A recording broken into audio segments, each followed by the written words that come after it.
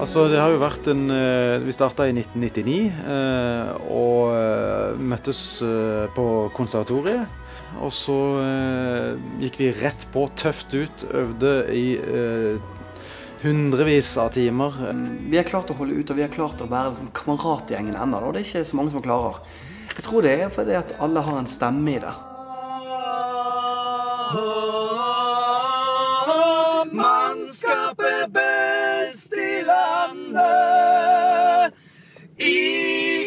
start vi er heltene fra Sørlandet.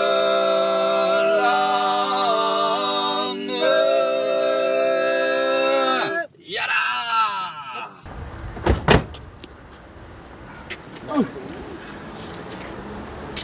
Ok.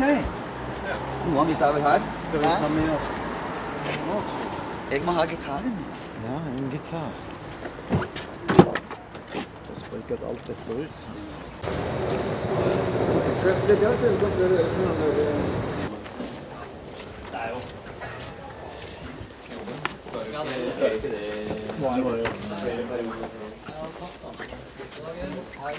Har glemt fotballskoene mine. We go stadion.